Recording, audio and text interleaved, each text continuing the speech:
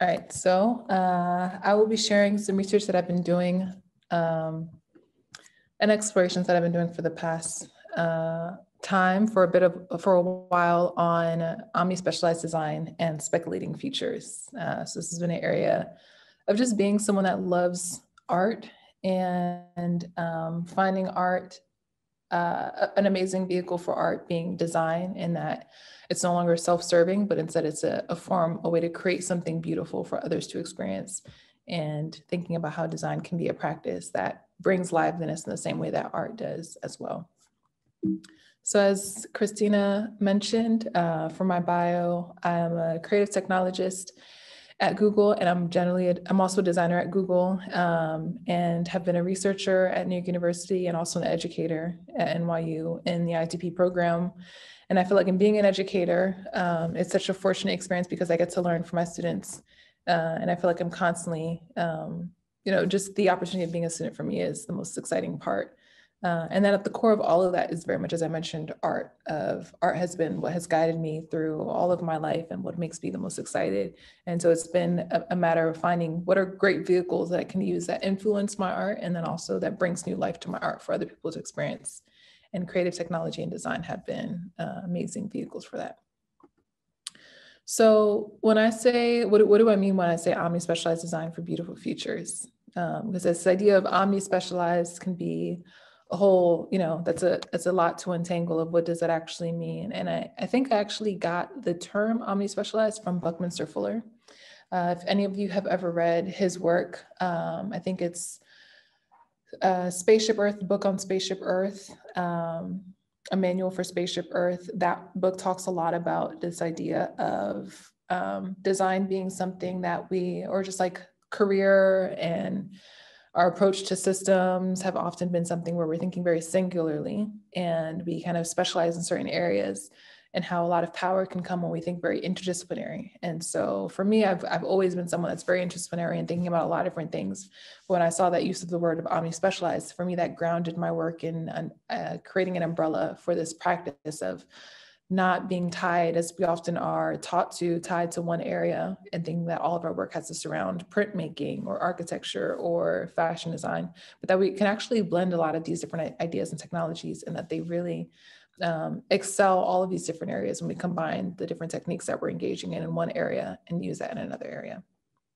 So as I explored this, I also did a lot of reading on other people that are in the field, uh, in the design field, and also outside of it. Um, and one of my favorite quotes by Benjamin Bratton, who's a theorist and philosopher, says that the job of design in the 21st century is to undo much of the design of the 20th. And I think this is a very liberating quote as a designer and as someone that's engaging in the world and even someone that's for anyone that's not in the design world to understand that we are living in something that someone else has designed and it's up to us if we feel like it's sufficient enough for us or not. And we can reject the system in which we live and approach design very differently. We can redefine what design is. And i think it's it's important to understand your agency within the field that you're in um, and allow you to understand that you can make the change that you want to and you can actually discern if this is something that's acceptable or not uh, Dunne and Raby says all good critical design offers an alternative to how things are. And I think this is also an important reminder of just as the last quote saying that we don't have to accept things as they're presented to us. We don't have to accept the way that we're being trained,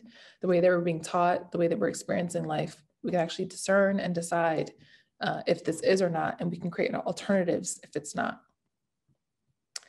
So I spent a lot of time thinking about design and rethinking what design is. For one, what is the role of a designer? Is it someone that's interdisciplinary? Are they a bridge between different communities? Are they including people uh, that are being served in the design team? What are the principles of building that we're building design off of? Often where it's traditionally off of European Enlightenment, um, the role and response, the role of nature, and how can we use that as an example of great design and ways to design? What are these different ideas around design? So there's respectful design, biomimicratic, speculative design, working backwards. And so I'll touch on all of these throughout the presentation. So step back, what is the role of a designer? Oftentimes we assume that the, the role is someone that's visionary, they're a leader, and they're independent. So it's this like sole person that has they're, they're, exemplary. They are, um, you know, the, the lone wolf. They are the person that's carrying everyone forward. And we put a lot of responsibility uh, in their hands. They have a lot of agency and they also maybe too much power though. I think we need to think, rethink about uh, the responsibility of a designer and how we interpret their role.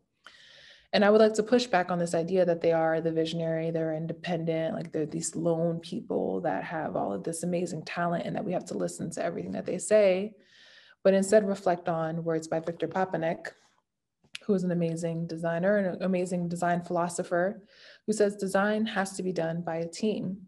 This team must not consist of only somebody who is a designer, it must consist of people from other disciplines. And I think this is a really important quote because it re-identifies the role of a designer. It's not that this designer is coming in and they have all the expertise in the world and they're going to impose their expertise, but it's more of design has to be done within a group of people and it can't be just with people that consider themselves as designers, but it has to be people that consider themselves outside of the world of design because there's a lot to learn from when you're bringing people of different fields together. It also, Victor also continues to say the most important team member besides the designer is the member of the user group. Um, and user, I think that's a, a, complicated word for me. I don't generally like to use the word user. Um, and I think a lot of people have spoken about this like sort of discomfort with the idea of user because it actually flattens the identity of the person that would be considered a user. Um, it sort of gives them a monolith. It doesn't really give them a voice. It doesn't uh, allow you to think very intentionally about who they are. You kind of just see them as a person on the receiving end. But instead, it's really important for me to think critically about them not just being this user, but they are the intended beneficiary. They're the person that I'm creating this to benefit from. And I need to think very specifically about who they are and what do they need as the designer. And I think another really important element of a designer is that they are the bridge they are the mediator across uh, of a team of different roles. So at the center at the core there may be the designer because the designer has the ability to speak different languages and these languages are people of different fields. So the designer can interpret and understand someone of a science background and find a relationship between a scientist and an artist and then also a community member, and then an engineer, and then a historian. So they're working with all these different people in tandem. They're creating a, a positive and conducive environment for everyone to work together. And also important uh, to have the community member um, in there of maybe you're creating for a community. Who is that person? It's understanding that there's lived the, the importance of lived expertise and the importance of a variety of different forms of expertise that aren't always taught in programs, university programs in school, but um, through other arenas and how uh, we want to make sure that everyone's voices are heard. Another really important philosophy of mine is to design with and not for.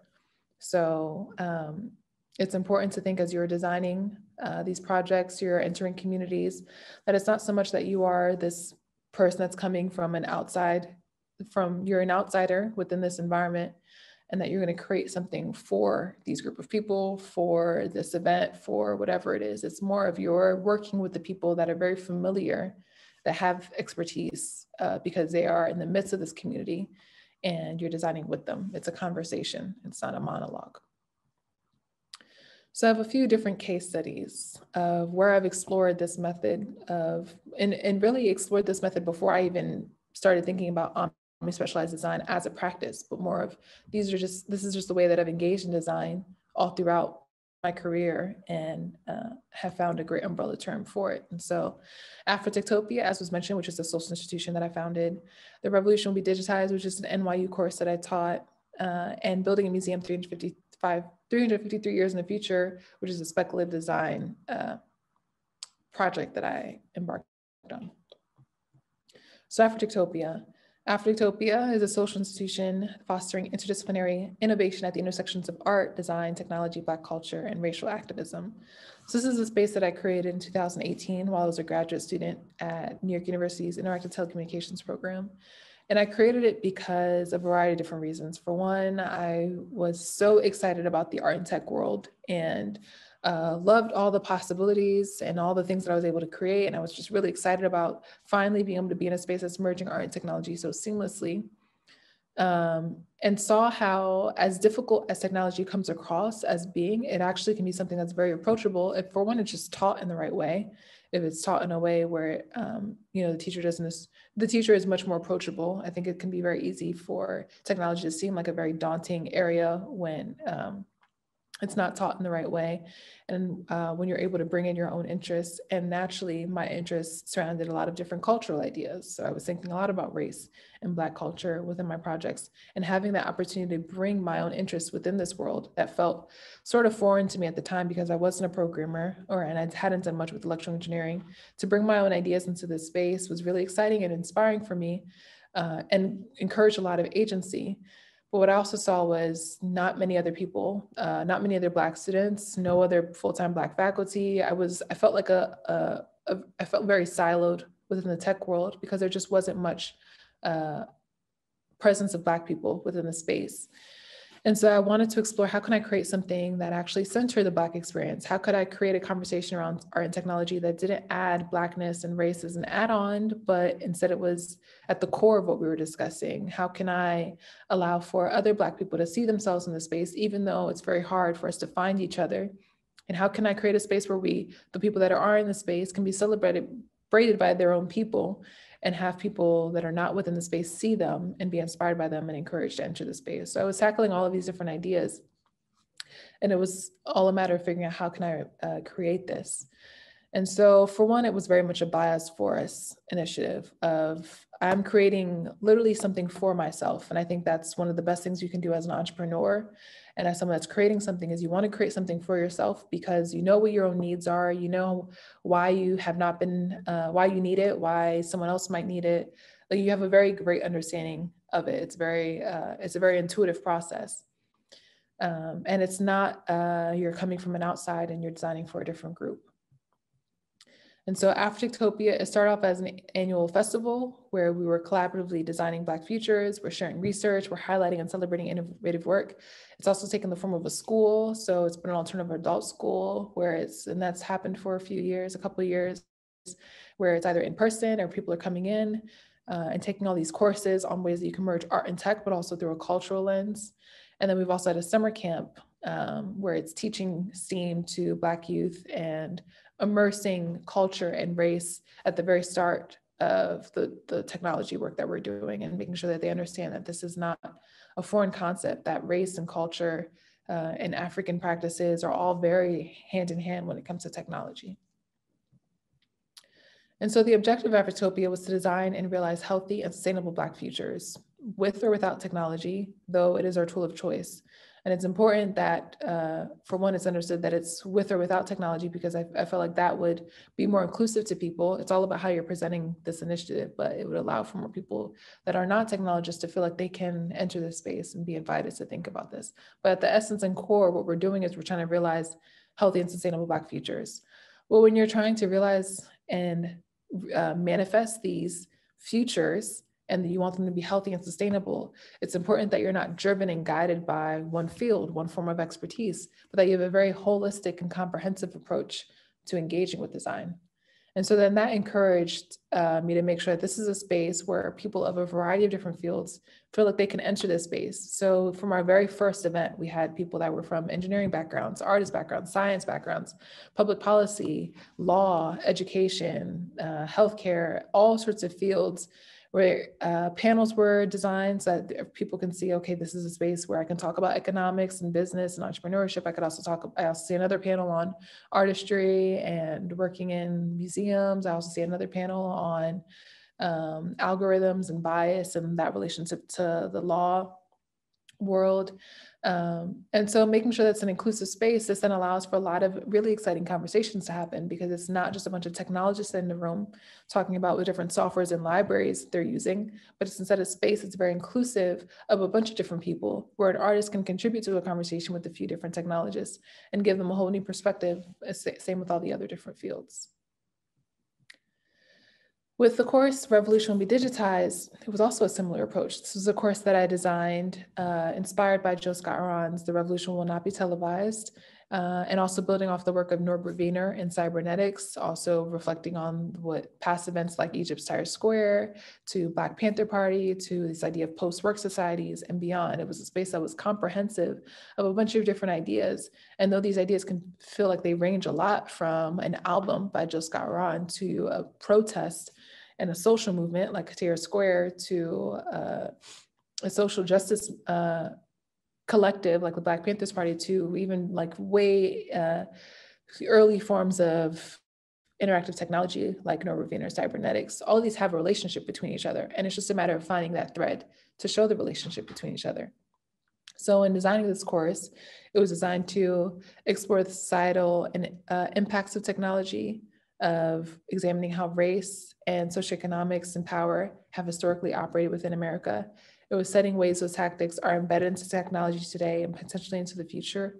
It engaged in a variety of speculative design practices and a design and equitable technoculture futures manifesto. So we were doing a lot. We were studying the past. We're seeing the relationship of what happened in the past as far as technoculture and how that was embedded in politics, public policy, race, society, uh, looking at how it's influencing today, thinking about how it may influence the future, designing potential futures, and then creating a whole manifesto of uh, this kind of being like a, a, law system for any other tech uh, institution to abide by and make sure that they're creating healthy and sustainable uh, products and systems. And then when it came to building a museum 353 years in the future, this was a speculative art practice that I engaged in, where it was exploring the eradication of racial oppression in future times through speculative design and futuristic ideating of a utopian city and society. And so this was a practice where I was thinking, uh, and it's a lot of where Afrotectopia has uh, entered into. Afrotectopia initially, it was very reactive. It was very much of, I don't see enough Black people in the tech world. I don't know enough Black people. There's not really a, a, a cohesive and strong community of us that know each other. How can I solve that? How can I create a pipeline into different tech companies so that it's easier for Black people to get into these uh, spaces? It was very much of this is how the world is. Let me start from where the world is and respond to that.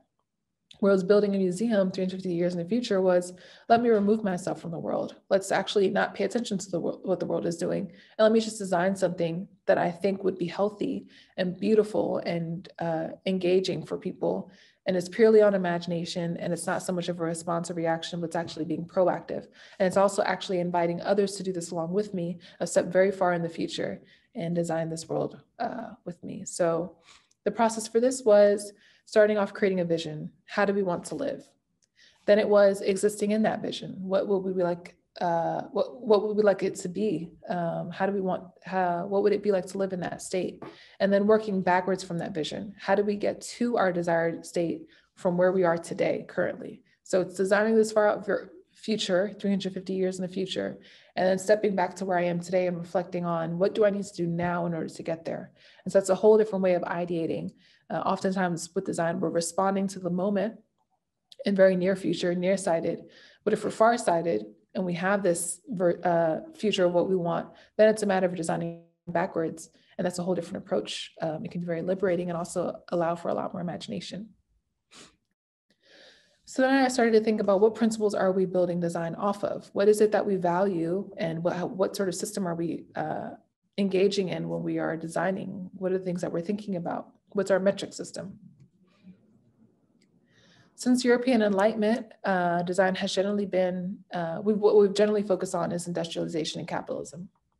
Okay, so how has that influenced the way that we're engaging in design? For one, um, I read this book called Lo-TEK, uh, Radical Indigenism um, in a design practice by Julia Watson. And she laid this out beautifully for me of, she said that there's a mythology of technology where we think it is, it exists at the center of humanism, colonialism, and racism.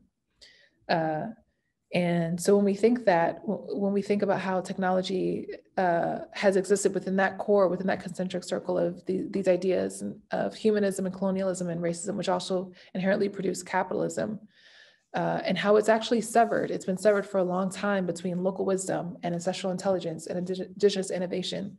That leaves us with our design framework of, of much of how we're operating today, of very much of how can we create efficient systems where we're not thinking about sustainability how can we create systems that continue to uplift people that already have plenty uh, of resources and not thinking critically about those that don't and how we can distribute resources and make it make the world more equitable and how we're ignoring the genius and expertise of people that understand systems indigenous people natural systems um, the ancestral intelligence local wisdom of certain areas and we're imposing these very western and eurocentric views uh, everywhere. And we think that's uh, universalism, but it's actually, it's very, um, it's not, it's not localism, which is a lot more powerful to different um, spaces. And so then that had me diving into Arturo Escobar's work, where Arturo says all living human or not takes place within a relational matrix. The forgetting of this fact led to the development of patriarchal cultures. So this for me means um, that we are all interconnected we are all like it, it's not even a, a human uh, it's not a human centric world um, it's a sentience centric world it's all living things have a, an interconnected experience and when we don't think about that when we design human centered design practices where we're purely thinking about how is this going to affect humans and we're not thinking about all sentient beings this continues to uh, push forward this idea of uh, how we have a patriarchal culture that's influencing much of the way that we're engaging in design practices. Von Werhoff says, if we want to live in a different world, we need to transform our desires. And for this, we need to change our conversations. This is possible only by recovering matristic living. The matristic manner of living intrinsically opens up a space for coexistence. So the world that we're living in, we're, we're living in this world because we desire it, because this is what we're comfortable with. But if we change the way that we're uh, identifying this system, this world, and change our conversations around it, we can actually engage in something that's a lot more about interconnectedness and coexistence, uh, similar to what a matristic way of life would be, opposing the patriarchal world that we've lived in. And so for me, uh, I think the most perfect technology is nature. How is nature operated? What, what system uh, does nature uh, create decisions based off of what are its values, uh, who is it serving, who is it not serving. And so when we think about nature and its role in impacting design, we can think about economies, how economies uh, could be, how could economies be affected by a sort of biomimicratic form of design? Well, with traditional economies, we have a, a, linear economy, which profits off of obsolescence, so waste. We have to produce waste, and that waste then allows for what is not waste to become more valuable. So we have raw materials, we use it in production, it then becomes a, a tool, a product, an item, and then it becomes non-recyclable waste. Um, and that's what creates value. That's that's our metric for a value system, or has influenced our value system. And as much as I love Apple, Apple's one of my favorite brands. Apple's also an example of profiting off of this obsolescence. Of with every upgrade, we have a new phone. For whatever reason, we have to have a new phone every year. With these new phones, a lot of the time we're changing the charger, so we can't even use the same devices that we've used in our past devices. So it's creating a lot of waste. It's op- it's making items obsolete that we paid a lot of money for. And what happens with those uh, items once they become obsolete? And so I've been thinking a lot about circular design where nothing goes to waste. And this is very uh, typical of nature. In nature, nothing is going to waste. Everything is constantly being reused and turned into something else. And so with the circular economy, uh, influenced by circular design, we would have raw materials, we would produce with those raw materials, we would use it, and then we would recycle. So how can we create a relationship where everything that we're using is then serving some another purpose and it, it never becomes a form of waste? Similar to how, I mean, the most basic natural systems work of the, the movement of water and it's transforming, being evaporated, turning into condensation, then rain, and then again, turning feeding into our large bodies of water or food and life, just general life of growing food, harvesting it, eating it, cooking it, uh, composting it, that nutrient, uh, turning its nutrients in the soil, and then it grows something else. How can we create uh, circular economies that are based off of circular design that's so successful in the natural world?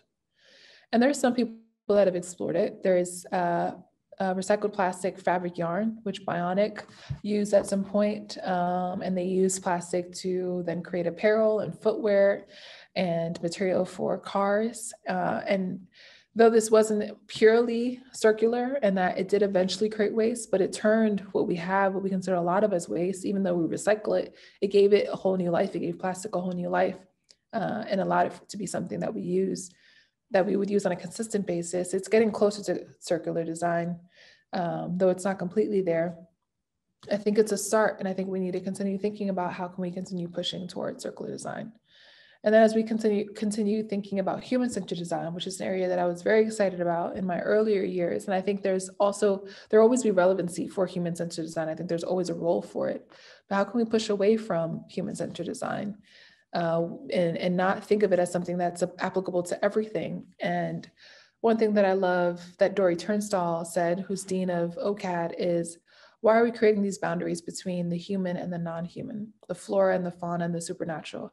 Are there other values or principles that we can take into account that will bring us closer as opposed to creating divisions? Because for a really, really long time, we've been designing with the exclusion of all other life forms. And so when we're thinking about human-centered design very specifically. We're thinking about how can we best serve the human experience? How can we best serve human living conditions? But while completely ignoring the sentient existence that surrounds human existence and all sentient experiences that are being affected by the human experience. And why are we creating this division? Why is there a sort of superior understand superior respect to human life and not that same uh, respect given to sentient life that is not human? And so for me, it's, it's very much about pushing away from this idea of human centered design, but instead thinking about ecologically centered design. How can we create design that is beneficial of all sentient life? And so this is design that is anti-siloed, anti-dichotomized, and pro-whole systemized. And so what does that mean? What would that look like? An example of that are the case studies that I showed before, but also how that can be uh, explored through pedagogy and research that is interdisciplinary and gives a fuller picture. So when we think of sciences and how we generally explore uh, university campuses, we have the science building uh, or the science area of the camp of the university where we have chemistry building and biology. We have humanities in another area. So this is, you know, anthropology and uh, public policy and all the, the humanities related courses. And what we're doing is we're actually, it's harmful to think about the world in a way that's uh, creating these dichotomies between these different fields when they actually have a really strong relationship and a necessary relationship between each other. Sciences are always political, but we have this apolitical identification of sciences because we think that what science is, is fact, that whatever science presents itself to be is a fact. But actually, science is purely actually a perspective.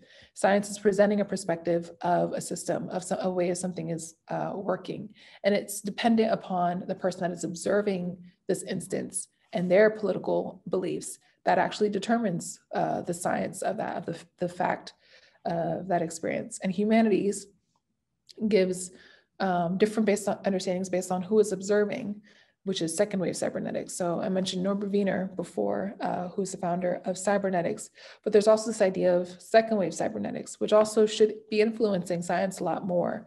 Uh, second wave cybernetics, which was uh, thinking about uh, technoculture, but not strictly within the technoculture sphere, but actually within the humanities sphere. Se- second wave cybernetics is a product of the sciences and humanities coming together with an anthropologist and a computer scientist and engineer coming together and thinking about what does actually mean when we think about this feedback loop that in, exists within cybernetics. Cybernetics is basically this idea of a loop, that everything is, there's a feedback loop, that there's a cause and effect. What cyber, second wave cybernetics actually does is it removes you from this first person perspective of this cause and effect. Um, and allows you to understand that you are a person that's observing this cause and effect and that you're, you're the way that you are interpreting it is what then becomes this idea of a fact or science. It's that per, it's the interpretation of something happening, your interpretation of it. And that reminds me of uh, an amazing uh, article that maybe I'll, I'll share in Q&A um, on Octavia Butler and Octavia Butler's observations of slime mold and how scientists before her saw slime mold as an amazing um, example of a form of efficient design. Uh, this could be something that is used to, and it was actually used to influence uh, metro systems and the ways that trains navigate public transportation systems, of observing slime mold in the way that it moves and uh, efficiently navigates spaces. And Octavia Butler instead saw this as something that's not purely about how can we create more efficient systems, but understand the queerness, that there's actually a, a, queerness to slime mold, where it's not about identifying it based on how we understand people to be as a binary of a this or a that, but understanding that's a complex system that is encompassing of a lot of different identities, and that we need to respect that, the identity of that, and not impose our ideas. So these are two different people that are studying a form of science, but have a very different understanding of it, which then continues to say that science is, it's not this apolitical thing, it's actually very political. And that when we think about it through a second wave cybernetics, it's very much dependent on who is observing and uh, how they understand the world and what they're imposing to then allow for an understanding of it. With the course, the revolution will be digitized. Again, this was a compilation of a lot of different ideas. So was, this course was designed to explore technology and surveillance and design and politics and media and public policy and sociology and economics and ecology and military, all of these. When traditionally, when we have courses that are thinking about how can we think more equitably about computer science, it's pretty much just computer science and then, uh, you know, some ideas around race and uh, uh, society and just how people function between each other, but it's not thinking about uh, economics, about public policy, about urban design and how urban design then created forms of public policy that we're continuing today that are segregating people, that still allow for places like New York City to be one of the most segregated uh, education, public, uh, public education uh, spaces, or it's uh, technology's earliest days and how that was rooted in surveillance done by military in the Vietnam War and how all of these they have a relationship between each other and that we really have to look at them as a cohesive system if we actually want to understand it and when we just silo different areas we're not getting a full picture. So thinking of ways to design. Um, another quote from Dori Tunstall says, a key ethos to respectful design is an understanding of how things can have many different meanings for different people, how we recognize the intrinsic worth of everything and everyone, not because they may be useful to us, but because they exist in the universe. They have a meaning and a purpose that is their own. I think this is really, really important, uh, just as a, on a human level of respecting the people that are around you, not because maybe they're going to serve you, not because they have a great network uh, or, or, net worth, or because they might introduce you to someone eventually, but just seeing them as a human being and that they exist, not that things don't exist to serve you. Things exist because they have their own purpose and existence, and how to be respectful of that and not look at everything as something that could potentially be profitable. And so, thinking about respectful design, I also think about uh, biomimicry and sustainability. And uh, in the Lo-TEK book that I mentioned earlier, Julia Watson describes the living root bridges and ladders of India. And I think this is one of the most amazing examples of uh, design not being self serving, of it being very much of the what the actual definition of sustainability is. And sustainability is rooted in the practice, indigenous practices, where you're thinking about seven generations ahead of you. You're not thinking about what can serve you in this moment. Sustainability actually is rooted in the practice of indigenous cultures, where they're thinking about how can they create something that will benefit, how can they be mindful of what they're creating, and how it might impact people that are seven generations away from them. And so with the living root bridges and ladders of India, these were created because in these parts of India, there are heavy monsoons, heavy rains, downpour of uh, uh, strong rains and winds that destroy manufactured bridges using material that they have around them, whether it's wood or anything else. And so what they found was no matter how much they are investing in creating these bridges, they're still being wiped away due to natural causes. And so how can they use something that will last for a much longer time um, and while they're thinking about this, they're thinking about uh, roots, roots growing on these different trees. And their tactic is guiding these roots to grow in a certain way. And these roots then become an extremely durable material that allows for them to uh, live and navigate between these different communities that they would have cut off uh, without the bridges. And so this is a process that takes can take 30 years, but it's the strongest technology that they have access to. And so to create something that could actually take a few decades, thinking about generations ahead, this is the actual form of sustainable design that we need to be thinking about. Uh, it's not so much about what we are able to benefit from in the moment, but what uh, the people that are coming after us can benefit from. And then also think about uh, the indigenous practices of African uh, cultures. Uh, and so indigenous African design has been something that I've really thought a lot about, especially with fractal systems. Uh, and so this is an example of urban, of settlements, of community settlements and their design. And um, when European settlers came onto the continent and saw the way that the African people were living, they actually did not, they thought that what they were doing, things like this, was was examples of them being primitive, of them not being intelligent, them, you know, um, creating systems that don't make sense. But actually, what they were doing was beyond what uh, these visitors could comprehend. It was such an advanced form of uh, geometry that only existed both on the continent and India at the time.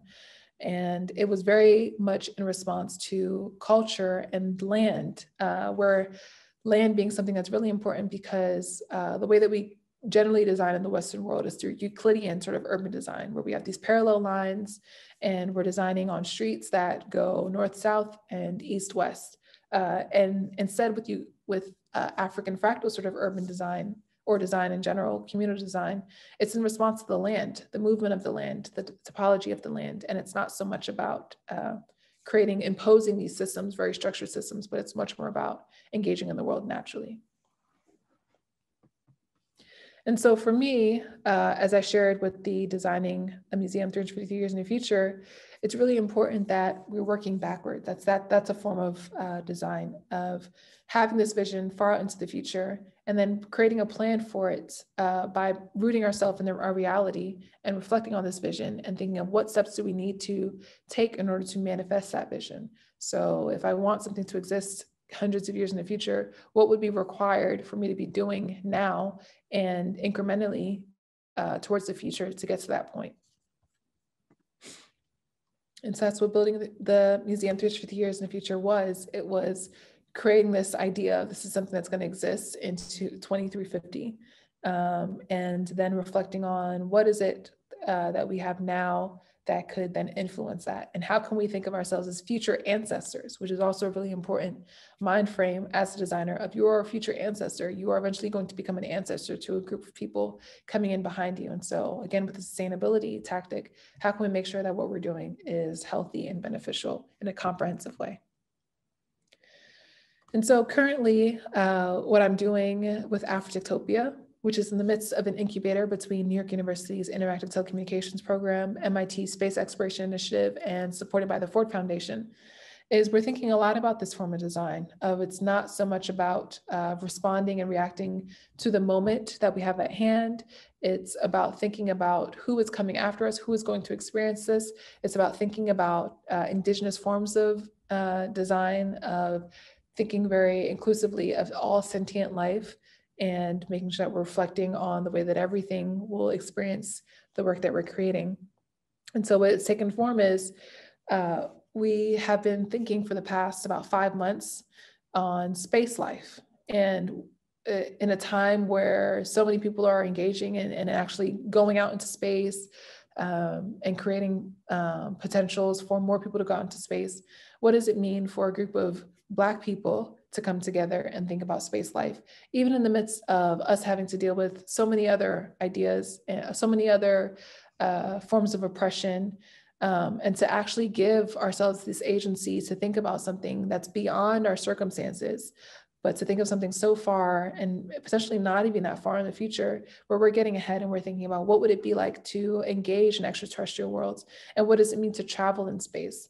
And so what we've been exploring is this idea of space travel as not so much of this about being the destination but more about being the journey of this process that we're navigating as we're moving from uh, the Earth's orbit and entering other orbits of what can that mean as a spiritual experience? How can we reorient ourselves as human beings? How can we think about our role within the world and our ecology um, to be something that's beneficial to all sentient beings?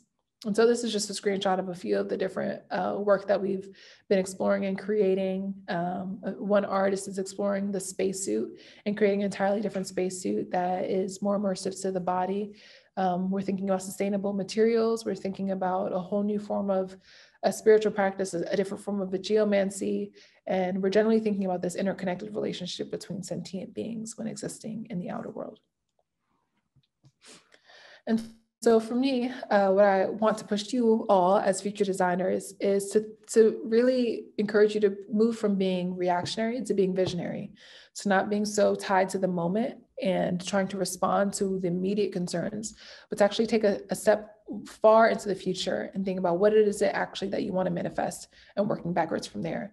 And that would then require us moving away from yearning for instant gratification, which we're, tra- we're trained so well with social media and wanting to post things and immediately get attention for it and recognition for it, but to actually be sustainable in our approach, to not run quickly and try and realize all of these great things so in such a short amount of time, but to actually be careful and intentional about every decision that we're making uh, and to not think so much about how we can serve ourselves, but to think about how we can serve the generations that are existing after us. So I also encourage you to always question status quos. I think that's a, a, big part of the Benjamin Bratton quote that I shared of just this is your opportunity to redesign the design 21st century design is about redesigning 20th century plurality which is so much of what omni specialized design is it's thinking about a variety of different identities and ideas centering justice so it's not so much about um, for me, it's very much about how can we make sure that we're at the core of all that we're doing, we're centering equitability and justice for all living. And to play the long game, again, about sustainability and um, not being so tied to immediate uh, gratification. And so to wrap this with Arturo Escobar's quote of ontological design stems from a seemingly simple observation that in designing tools, we are creating ways of being. We design our world and our world designs us back. In short, design designs. So tying it even into the quotation, the quote on uh, we have to create a different conversation. We have to create new narratives. Everything that we're designing is then going to design us back. Technology, the way that we use it, then decides how uh, technology will then serve in the future. So it's, it's really about simply observing and discerning and creating um, and understanding that whatever we are creating, it then creates us my bibliography. Uh, highly recommend these books Victor Papanek, Politics of Design, Lo-TEK by Julie Watson, Pattern Thinking by Mr. Fuller, African Fractals, Ron Eglash, and Designs for the Pluriverse by Arturo Escobar. So that is all. Happy to answer questions. Thank you so much, Adi. That was wonderful. Um, I think we have two questions queued up. For building futurists who don't have a background in making things, i.e., industrial design, what resources would you recommend to learn at least the basics of these other disciplines to enhance our omni design? Great question. It's a really good question. Um, and that also reminds me that I, what I didn't include in uh, this presentation was the importance of entering spaces that you're not an expertise in and still trying to explore what does it mean if you were to engage in that world. So with industrial design i think uh, especially in the design world um, as important as it is to be trained in that area it's also uh, it's not uh, it shouldn't create a barrier for people to also explore that as well. So industrial designers, yes, you can go to university program that teaches you how to be an industrial designer. Even with architecture, yes, you should, uh, you can go to a school and be trained as an architect, but that doesn't mean that the only people that have done industrial design or architecture have been people that have been trained at universities. There's a lot of importance in just being embedded within communities and being embedded within situations that would require those sorts of uh, practices um, to do it in, in, person and to learn on the go and to learn from people that uh, are around you. So I think for me, an important research is conversation of understanding what other people have done um, and learning from them of uh, and, and you know not creating this not allowing yourself to be uh, barred through not having the training from it um, other things I would say, and that just generally requires you to just try and just create, to not even have the role of an industrial designer, but just to think of an industrial designer and how they are creating products and creating your own products and exploring what does that mean and what are considerations that you're having and have conversations with what are the responses to the things that you're making. I think generally with any of that, my biggest recommendation is just to create. If you're not an architect, to create a house and design that and not stop not having a degree within that uh, to create that. And I mean, just like creating mock-ups and those sorts of things. Of course, when you're like actually designing a house, that requires you you need a lot of help, uh, like um, with structural engineering and all those sorts of things. But um, for me, the biggest thing is just get in and try. Great, be generative. exactly. What helps the communities or people you work with to imagine 100 years into the future? Another great question. I think, um, at least with the community that I worked with in this situation, and then also just generally working with Afrotectopia, is, is really just creating that space. It's kind of like being in a classroom and um, you, the professor has designed a syllabus around a certain subject area, and now you have this whole uh, mental capacity to explore that subject area simply because the professor has designed that space. I think when it's was thinking about speculative design, it's merely you're just creating the space for people to have the agency to then think in that way. So when it comes to designing 100 years in the future, one thing that helps me is I think a lot of what also helps is just creating examples. So uh, when I worked with uh, when I developed the course designing um, with the, the revolution course that I shared earlier, uh, I shared that the practice that I had done. Um, um, shared practices that other people had done so that people can see other people that are thinking very far into the future and then working backwards, at the very least, having uh, a concept to build off of.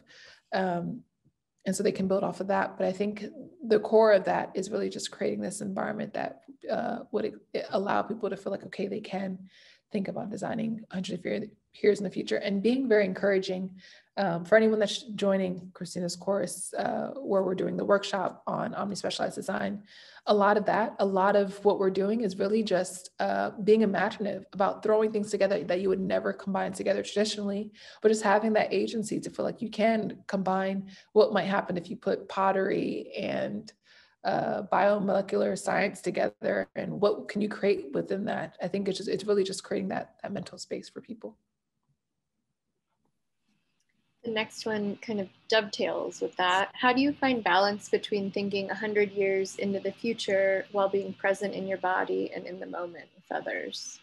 Yeah, that's good. Um, I think uh, the balance is, um, I think it's that constant returning to the past, turning, returning to where you are in the moment, but also then being reflective of where you're, you're trying to be. So it, it's not so much of a linear uh, process of think far out in the future and then only think moving backwards. It's more of you're constantly reflecting on what is this future that you want to uh, exist within. And then you're constantly reflecting on what is this world that you currently exist within, not operating based off of this world that you currently lived within to design this future.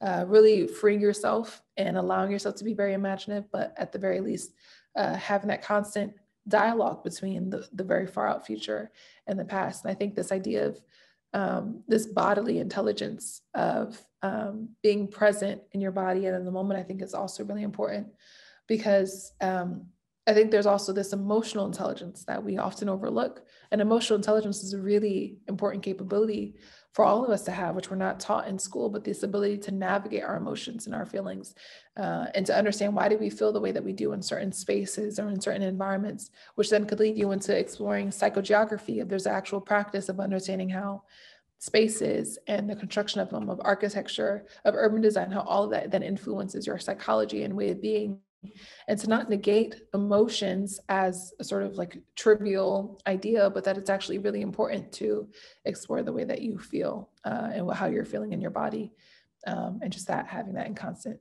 dialogue with your speculative design. Can you say a little bit about what you're doing so far in studio forward? Or what you yeah. will do i guess. Yeah um, so that will be a workshop on uh, Omni Specialized Design where it's inviting participants to, um, for one, really free themselves from the realities of the world and think about um, entirely alternative realities. And in doing that, uh, just encouraging a lot of creativity and exploration. Um, but also very reflective on the practices that I've shared here of ways that we can engage in design in a very sustainable and respectful and ecologically centered form. Uh, so first being very imaginative and creating these small prototypes that are in no way realistic or no way intended to be realistic.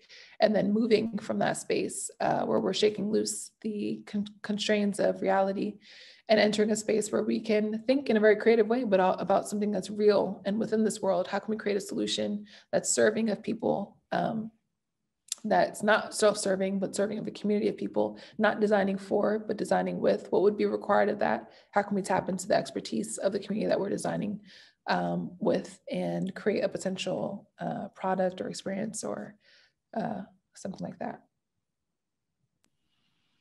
Lovely.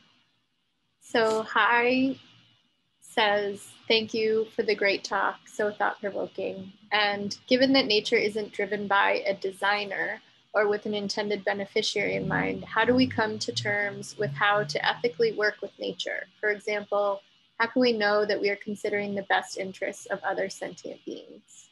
Oh, excellent question. Uh, that's a really good question. Um, and there are so many examples of where that's done wrong um, of, uh, you know, people that are trained in urban design or um, these sorts of practices within the Western world and taught extensively about uh, horticulture and botany and all these sorts of things. Um, but how different those tactics can be from indigenous communities and uh, how these indigenous communities have been able to serve the land best how we even have government grants that are designed to you know protect land but it's actually destroying the land and not allowing for indigenous communities to do uh, a lot of the tactics that they've done for so long um, because we have this new trained philosophy on the ways that we should be engaging with the land. So i definitely don't think i have a question i have an answer to that. I think it's um, for me my, what my strategy has generally been is just studying what have indigenous people um, done. Not to say that they're always correct but they generally have a very strong understanding of the natural world because it, it, was a technology that they were so tapped into far beyond far far before we had digital technologies and far before we had uh, university programs around that. So reflecting on i think it's just a lot of research and understanding in that way trial and error of course. Um, but I think, uh, and a lot of it can also just be like very clear indicators of, you know, flowers and uh, horticulture not uh, blooming in its healthy estates or just like this, a lot of natural devastation.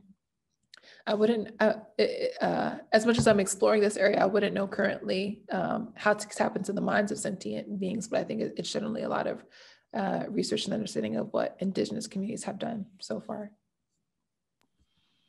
Thank you. We have two more questions. Do you have a few more minutes? Yep, yeah, I can. Thank you. Please share your thoughts behind your physical computation for sound project and how it might support epigenetics towards healing.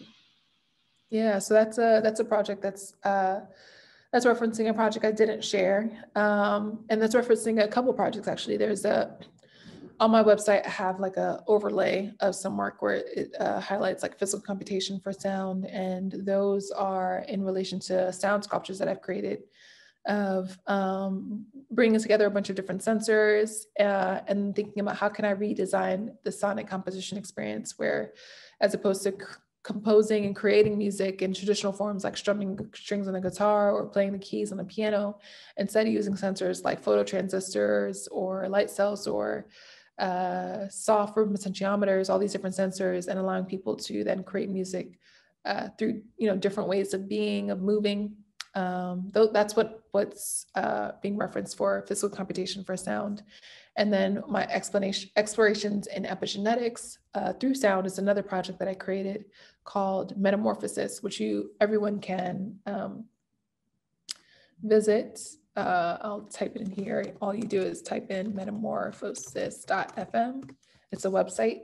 Um, and so when you go there, that's a web VR experience that I created, where I was thinking specifically about uh, exploring a lot of the, this idea of epigenetics or the science behind epigenetics of how, for anyone that doesn't know epigenetics, that's basically um, when you are, uh, how through DNA, how through ancestral, uh, uh, through your ancestry, you can have your your body, your DNA is affected by the experiences that your ancestors have experienced, um, and how that is different traumatic traumatic moments can reconfigure the structure of your DNA, and that being epigenetics. And me thinking about how can it be not a trauma based uh, form? Uh, how can the science not be so focused on trauma, but instead, how about uh, could this potentially be a form of healing? Can we actually reverse the way that we think about epigenetics, where we actually reconfigure our DNA through meditation and sound healing and a bunch of different healing modalities? And so that's what I explore with metamorphosis.fm of I wanted these healing modalities to be um, accessible. So it's a web VR platform. It takes a little bit to load on your computer just because it's, it's a pretty heavy file, but um, thinking about how it can use sound and light and color to potentially reconfigure our, our DNA and using sound and light and color in specific ways that are tapping into different energy centers like chakras, uh, which is a, a Eastern uh, practice, spiritual practice, uh, and knowing how different sound frequencies can actually tap into those different chakras, creating an environment that allows you to navigate the different chakras through sound and visuals. Thank you for that. We just have one more question. Thank you for your time today, Ari, Addie. For folks interested in this form of design, I'm curious what sort of tactical advice you might have to find communities and relevant spaces to contribute to. Would you say there are a lot of spaces that already exist, or would you say there are more spaces to be created? Um, that's a great question. I think oftentimes we uh, try and create spaces um, because we see a need that doesn't exist. And I think the first step is always to see if that community already exists. I think it, you never want to reinvent the wheel. Um, so for one, finding to see if those communities exist.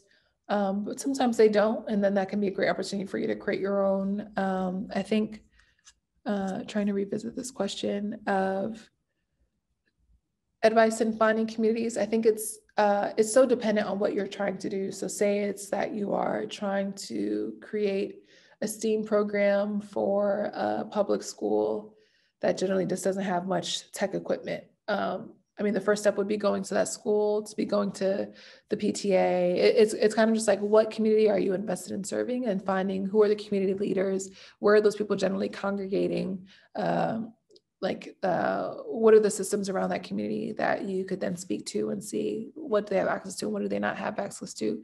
Uh, i think it's really important to get to know the community and just be a part of the community for a while. I think oftentimes we have these really great ideas and we think we know the solution for it um, but that actually might be very far away from what the community needs. So it's often really important to just take your time doing this. Some things can feel really urgent, but what you really need to do is just embed yourself in the community, have conversations, see what they have already tried to do. A lot of times, uh, you know, these communities have already tried to create solutions for their problems. So what is it that they've already tried to do and how can you build off of the expertise that they've already done? But the most important thing is really being embedded within that community. Um, and yeah, I think it would, it would really have to be starting from there. Once you're embedded in the community, you know who to talk to uh, to find out who has done what, whatever they've done in the past, or who might be great to contribute in this, or who can you learn from, et cetera. I, I would say the number one is embedding yourself.